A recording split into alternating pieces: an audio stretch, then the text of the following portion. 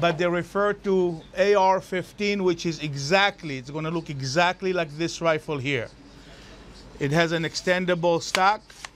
It has sights that you are able to fold and use scopes on them if you want, optics. Some people like to collect guns. Some people like to use for sporting purposes. Some people like to hunt. America is big on hunting. Some people like to uh, use them for personal defense.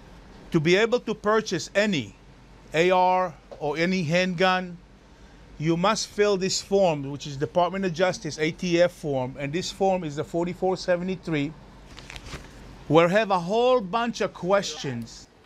Are you kidding me? You're the sheriff. How do you stop people?